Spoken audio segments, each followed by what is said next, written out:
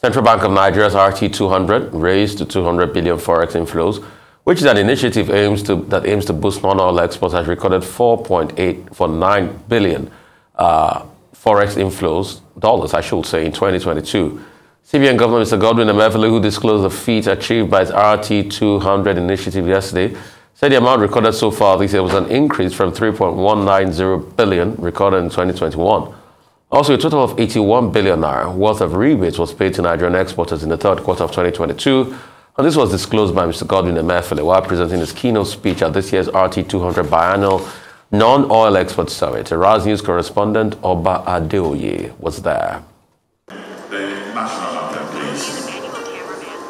Mr. Emefiele explained that the 81 billion naira paid as rebate is an indication of the Apex Bank's commitment to quick acceleration of the export value chain in Nigeria, adding that in the last three quarters, $4.9 billion have been repatriated into the country from non-oil exporters, which is higher than $4.1 billion repatriated in the whole of 2021. He also pointed out that the success of the RT200 scheme had created a formidable premise to make all export products eligible for the rebate and not just limited to the finished and semi-finished products. There is a need for us to build road infrastructure out of the Epe-Lekki area, out of Lagos.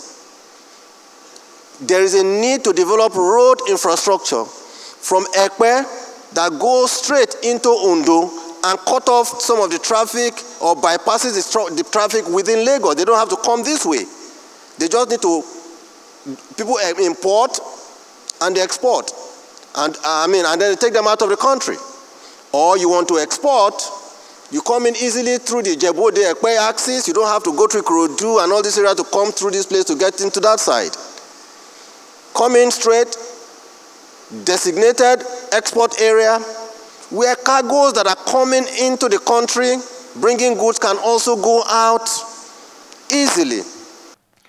The CBN governor also called for a collaboration with the Federal Ministry of Trade and Investment to improve the gains in Nigeria's export sector while urging Nigerian exporters to continue to improve their products' quality in order to benefit from the CBN export scheme.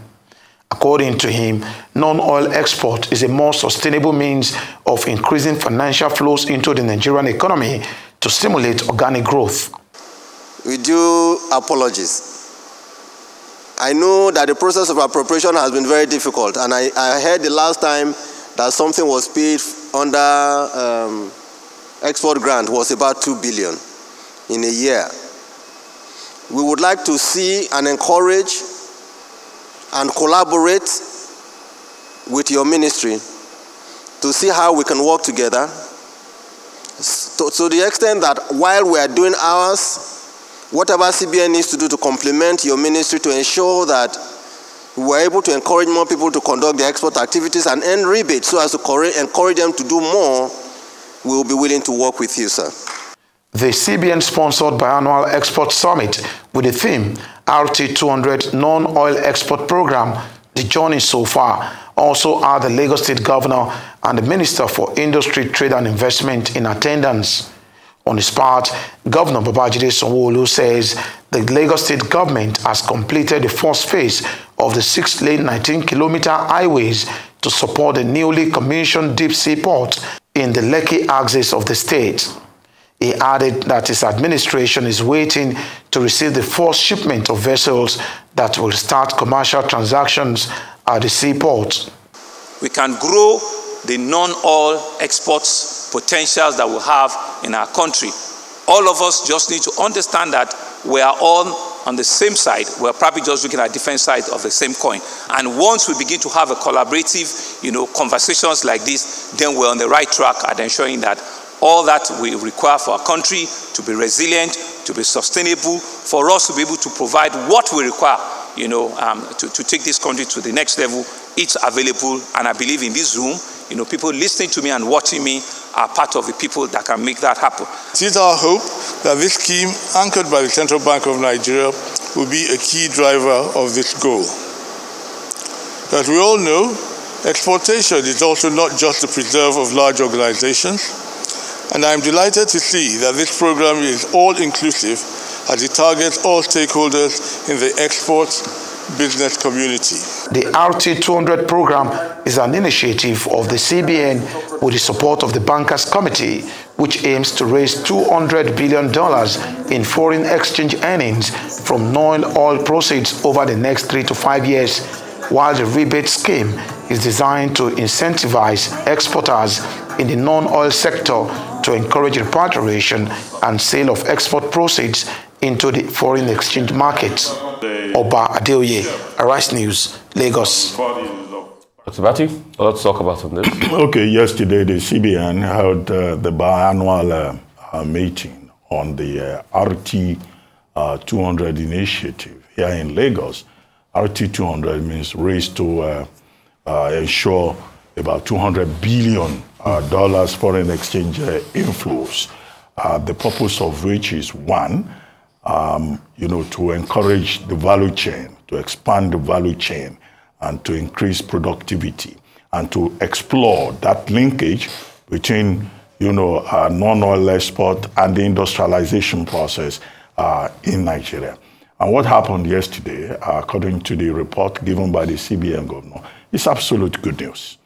To the extent that we have even seen an improvement from about $3.1 billion forex inflow from non-oil exports to $4.987 billion uh, inflow uh, in 2022 alone. So what was uh, put on the table was an illustration of the, uh, you know, reasonability of the idea of encouraging non-oil exports. And we know that in terms of receipts uh, in Nigeria uh, this year, according to the last report, whereas crude oil exports got to a point where it was providing zero dollars in terms of revenue, as we were told, from uh, an inflow of about $3 billion, uh, you know, previously. Now, the CBN governor himself even disclosed it about six days ago, that we are down to zero dollars from crude oil exports, simply because of crude oil theft, simply because of the uh,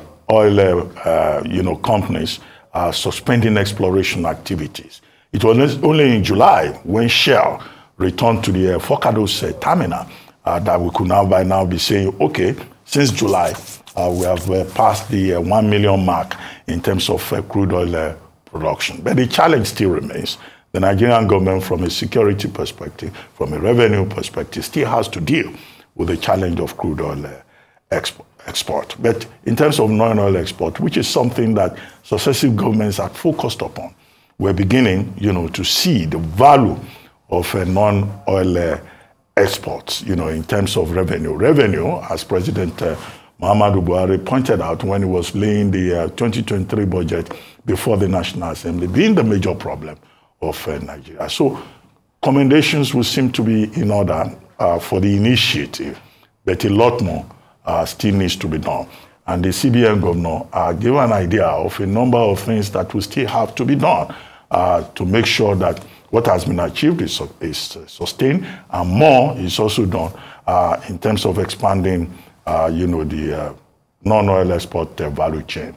And of course, he also talked about rebates up to the tune of about 21 billion naira uh, that have been given to encourage exporters in that sector. What I think is also remarkable beyond the RT 200 meeting yesterday is, the fact that this report is also coming at a time when the Nigerian government, the federal government of Nigeria, has now uh, kept to its pledge, uh, you know, to set up, uh, to establish uh, a national trade information portal. Uh, that was also announced uh, yesterday in another breath, that Nigeria now has a trade information portal. And that trade information portal, of course, will seem to be, you know, a, a good step forward Nigeria being one of the three countries chosen in West Africa by uh, uh, the United Nations uh, Commission for Trade and Development, UNCTAD, you know, for setting up the NTIP. And now we're told that we have an NTIP in place, uh, which would uh, provide data, ensure transparency, and also uh, provide a platform for persons, companies involved in export, you know, to provide uh, information out there to even make Nigeria's uh, exports uh, more competitive. And I think that when we take this with the success uh, recorded so far with the RTA 200, it looks like, you know, in terms of trade, in terms of encouraging non-oil export, uh, you know, both the central bank and other uh, relevant government departments are making an effort in this regard. But as in everything governmental, what is important is sustainability. What happens hereafter? What happens when there is a change of government? With the next set of people uh, who will be in charge of all this, you know, be present-minded enough uh, to, to build on whatever may have been achieved so far. I mean, I'll say a big congrats to the CBN. They started this for a while now, RT200, trying to show up potential, try to show up possibilities as regards non-oil exports, which is good.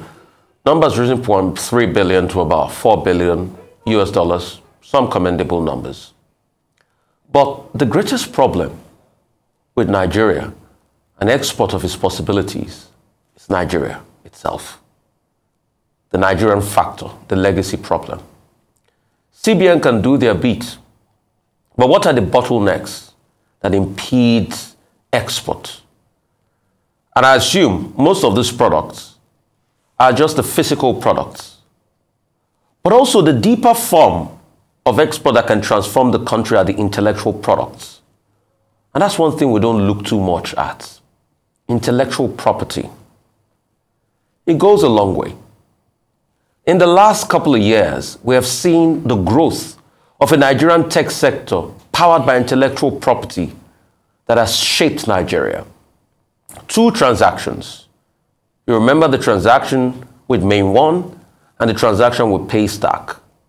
You saw how much inflow, a little over $400 million in just two transactions.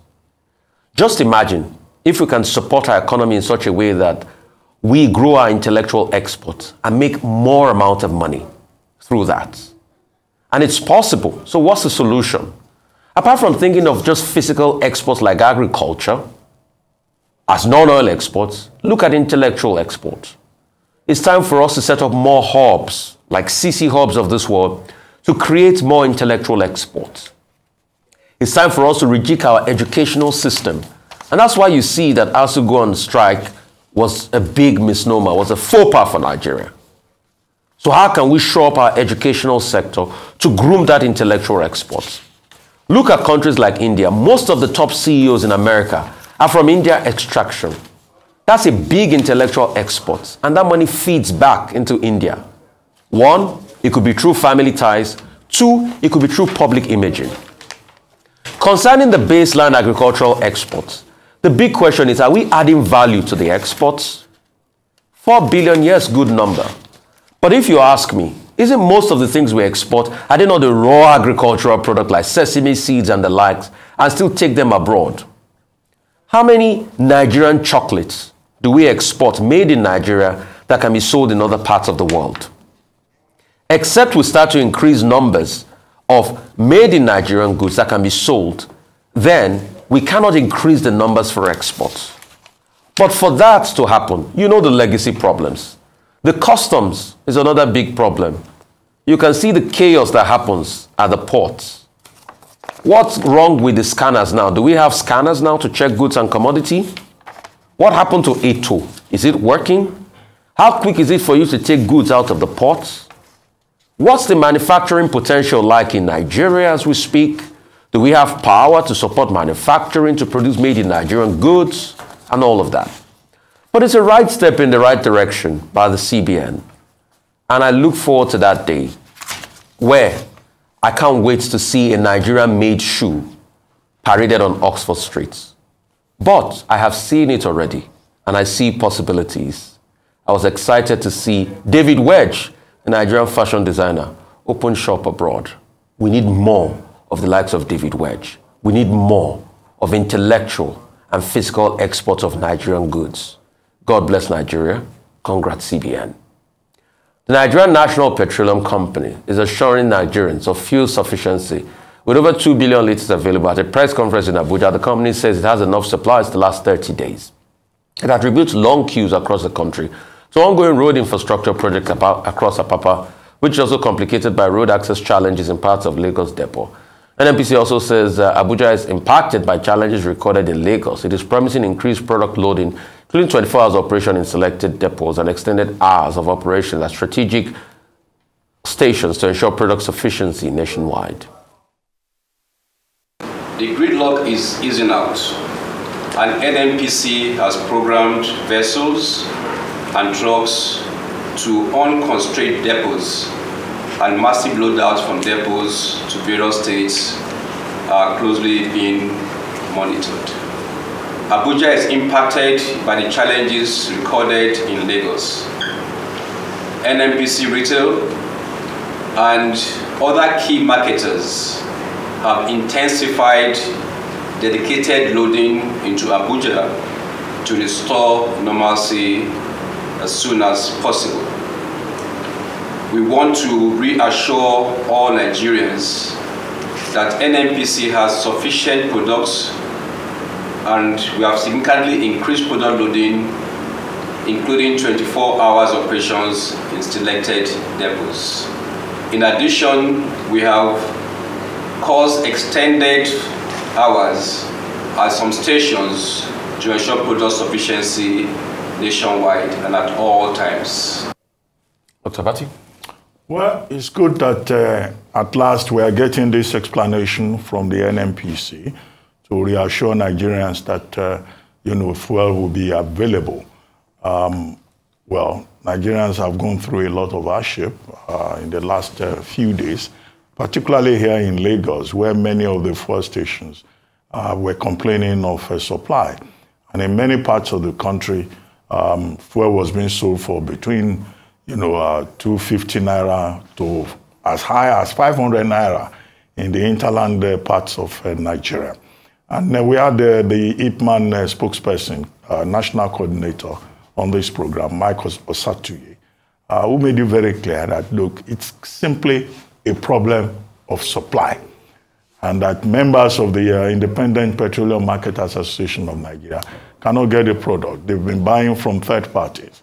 And because they've been buying from third parties, by the time they add uh, transportation uh, to the cost of the fuel, and then they put their profit margin, uh, then of course you find a situation whereby people have to pay through their nose. And there is no system in place for enforcing the uh, 162 naira 50 uh, kobo uh, that government had prescribed as what should be the uh, pump price of fuel. Uh, simply a question of uh, um, the market you know, responding to the circumstances in which it had found itself.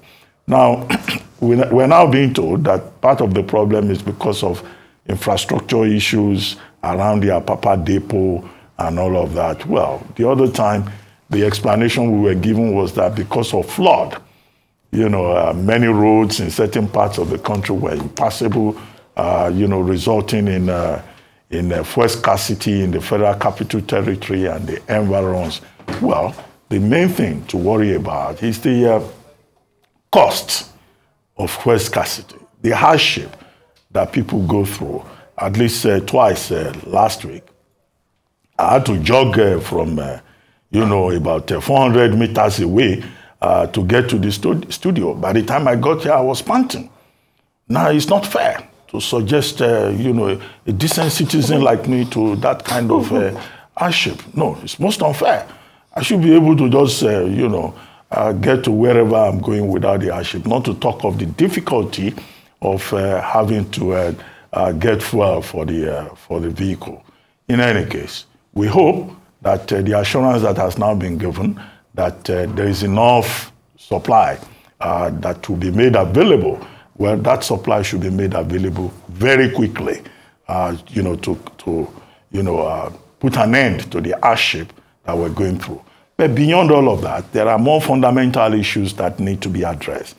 Uh, I think the Minister of State for Petroleum was saying that, oh, um, by uh, next year, there will be no need for importation of fuel again, uh, that uh, the refineries will be working, everything will be available. We keep hearing that all the time. When it happens, I'm sure that Nigerians themselves will not hesitate in uh, giving the evidence of their eyes and of their experience and in commending what has been done. But there are many ideas on the table. One, the independent market, marketers are saying look, there should be complete deregulation of the uh, downstream uh, sector, as has been done for kerosene and for diesel, uh, that even uh, petrol, you know, should be uh, completely deregulated and to, to remove the monopoly situation whereby it's only the NNPC that is bringing in fuel. They want private, uh, you know, uh, operators also to be allowed to uh, import fuel. The second thing is that they are also saying that even when that happens, the forex regime should be such that it will be possible, you know, for that deregulation to take place. Number three, uh, there are persons who are saying this situation exists because there is a lot of smuggling, there is a lot of speculation, and that subsidy has to go. That once subsidy is removed, you know, market the market would, uh, you know, uh, determine, uh, you know, outcomes. Although I recall raising the point that, uh, well, when subsidy goes, uh, you know, that could also have social consequences. But there are persons who say, well, when those social consequences occur, we will deal with them. So there are more fundamental issues beyond uh, infrastructure, beyond road, beyond, you know, uh, Apapa port. Uh, there are concrete, you know, identified, already identified issues. Uh, the last one will probably be how to get the refineries to work. I'm not just hoping uh, that is the Dangote refinery that everybody is hoping uh, will solve the problem. All right. So, I mean, there are many problems. And, Doctor, but it's a good thing you asked a very important question. What's the cost of this fuel scarcity to our lives? In 2021, a Lagos based institute, DN Reports or DN Institute, did a research that says Lagos loses 4 trillion every year to traffic situation. For traffic, 4 trillion. Just imagine how much we've lost since this chaos started by the NNPC. And the question is, when will the NNPC come out straight with us as regards what is happening? Because there has never been a time that there's scarcity, that the NNPC doesn't come out with a statement that says, we have 2 billion liters of petrol in our reserves. The problem is logistic. There's every, please, you can fact check me on this. Check every time we've had a fuel scarcity and check the first reaction of the NNPC if they never say they have 1 to 2 billion liters. But despite the billions of liters, Nigerians can't buy 50 liters of fuel. They have to put it in jerry cans. They can't take their cars into the filling station. I've had a conversation yesterday how somebody was giving testimony because he could use his own added money to buy fuel. It is time the NNPC comes out straight with us. A certain Mr. Omara Gia, if I get his name correctly, said in a newspaper interview that Nigerians will not have fuel scarcity by December. Isn't tomorrow the 1st of December? Isn't this scarcity going to continue? So we all know the problems and we beat around the bush. Ipman is saying his own, NNPC is saying his own, and they're gaslighting Nigerians. What's the way forward? How many million cars do we even have in Nigeria? I'm not sure. I don't have the empirical numbers here, but I don't quote. I'm not sure we have up to 20 million cars. The first question is how much are we truly using? How much are we consuming?